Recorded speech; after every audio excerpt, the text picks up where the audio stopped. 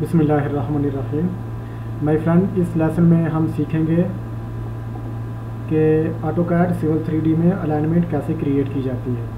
तो इसके लिए हम सबसे पहले होम वाले टैप पेंगे और अलाइनमेंट पे जाके क्लिक करें और अलाइनमेंट क्रिएशन टूल इसके ऊपर जाके क्लिक करें और नाम की जगह नाम दे दें। डिज़ाइन सैरिटेरिया में जाएँ और यहाँ पे इसके, जो आपने रोड को, रोड का डिज़ाइन करना है, उसके हिसाब से उसकी, इसकी स्पीड इंटर कर दें। Use criteria based design. Minimum radius table पे जाके क्लिक करें। सिक्स परसेंट को मैं चाहता हूँ कि सुपरलिवेशन मैक्सिमम सिक्स परसेंट हो। और इसके बाद इसको ओके कर दें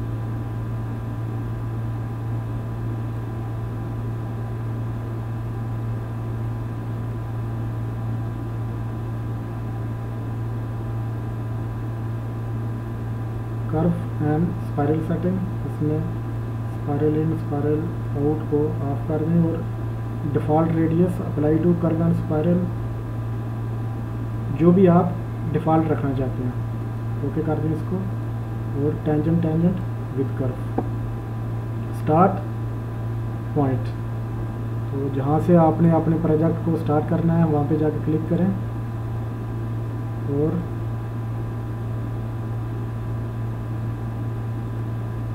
राइट क्लिक कर दें। ये हमारे पास अलाइनमेंट क्रिएट हो गई है। तो इसमें ये स्टेशन लेबल देखेंगे। स्टेशन लेबल हर 20-20 मीटर पे उसमें लिखे हुए हैं। तो इनको हम एडिट करते हैं। स्टेशन लेबल को जाके सिलेक्ट करके इसको राइट क्लिक करें और एडिट अलाइनमेंट लेबल पे जाके क्लिक करें। तो यहाँ पे ये इंक्रीमेंट 20 का लिखा हुआ है, जिसको चेंज करके शो करें। और टिक 25-25 मीटर पे। करके और इसको ओके कर दें। ये देखिए, उसने हर 100-100 मीटर पे स्टेशन लगा दिया तो रेडियस को चेंज करने के लिए हम इसकी अलाइनमेंट जियोमेट्री में जाते हैं। तो इसके ऊपर जाके क्लिक करें और अगर उसका आप रेडियस अपनी मर्ज़ी से रखना चाहते हैं, तीन हज़ार या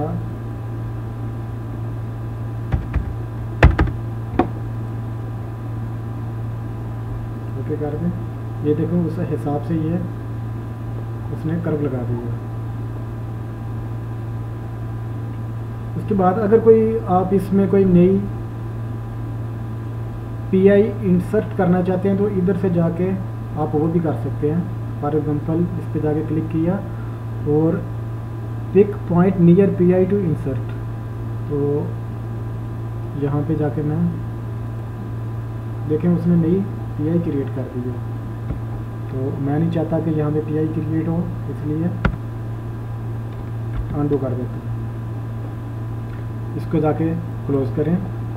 एक और ऑप्शन है अलाइनमेंट में, अगर कोई आपके पास ये क्रिएट अलाइनमेंट फ्रॉम ऑब्जेक्ट कोई आपके पास पहले का ऑब्जेक्ट पड़ा हुआ है तो उसके ऊपर भी आप अलाइनमेंट क्रिएट कर सकते हैं। पर मिसाल के तौर पे मैं एक लाइन यहाँ पे लगाता हूँ पोली line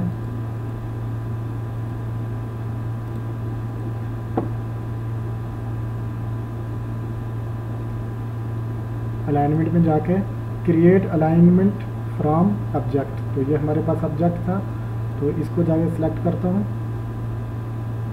Select the first line okay select कर ली और राइट क्लिक कर दें। तो ये डायरेक्शन का पूछ रहा है इंटर कर दें।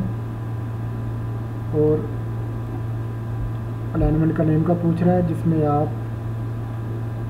कोई सा भी नाम दे दें।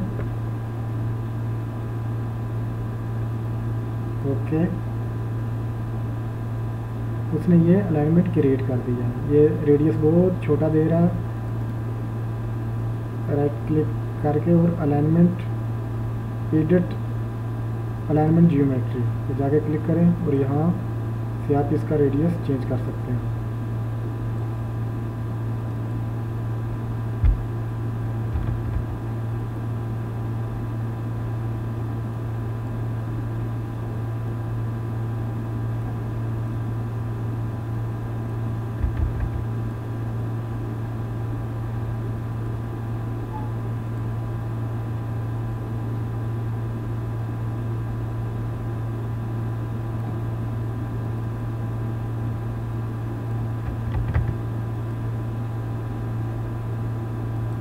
ऐसे इस तरह आप अलाइनमेंट क्रिएट कर सकते हैं।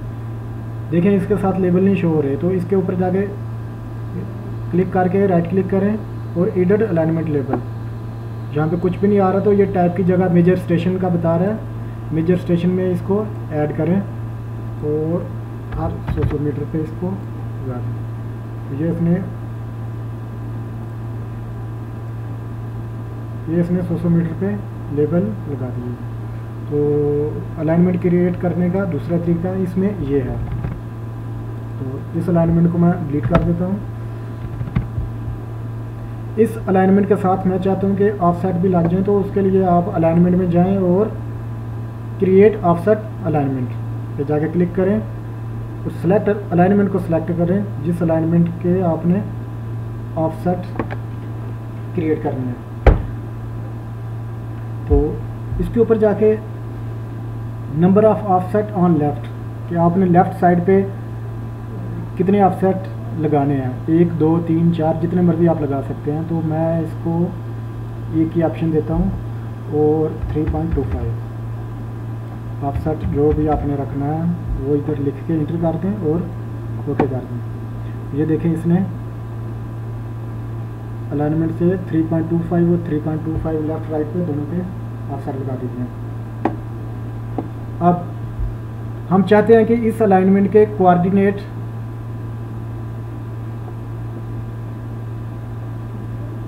कहाँ पे आते हैं तो उसके लिए हम रिपोर्ट में जाते हैं। अलाइनमेंट की रिपोर्ट हमें ये देगा टूल बक्स से। अगर ये ऑप्शन आपके सामने शो नहीं हो रही तो यहाँ से आप टूल बक्स को क्लिक कर सकते हैं। ये देखिए, ये यहाँ से चला गया फिर क्लिक करेंगे, ये यहाँ पे आ गया तो उसके लिए टूल बक्स पे जाके क्लिक करें और रिपोर्ट मैनेजर पे जाके क्लिक करें प्लस वाले साइन पे। फिर अलाइनमेंट और इंक्रीमेंट स्टेशनिंग रिपोर्ट इसके ऊपर जाके राइट क्लिक करके एक्सिक्यूट को क्लिक करें। जिस अलाइनमेंट के हमने कोऑर्डिनेट कोऑर्डिनेट लेने हैं पी आर एक्स ओके ये पी आर एक्स लेफ़्ट और राइट का भी दे रहा है, जो हमें नहीं चाहिए। स्टेशन इंक्रीमेंट मैं इसको बोलता हूँ कि हर 25 पे मुझे कोऑर्डिनेट दे दे। क्रियर रिपोर्ट के ऊपर जाके क्लिक करें। ये उसने हमें, हर 25-25 मीटर पे उसने हमें ये कोऑर्डिनेट दे दिए हैं। तो इसको आप प्रिंट कर सकते हैं, या फिर इसको कॉपी करके एक्सेल में भी लेके जा सकते हैं। इसका एक तरीका और भी है कि हम इसको save report to save report to को हम सेव करते हैं। ये देखें सेव एज टाइप के सामने H T M L file लिखा हुआ है। तो इसको हम चेंज करके एक्सेल 97 में सेव करते हैं। डिस्कटॉप के ऊपर और इसको सेव कर देते हैं। अभी आप डिस्कटॉप के ऊपर जाके देखें। सॉरी इसको एक्स एल एस में क्रिएट रिपोर्ट के ऊपर जाके क्लिक करेंगे। तो उसने रिपोर्ट को क्रिएट करना शुरू कर दिया है।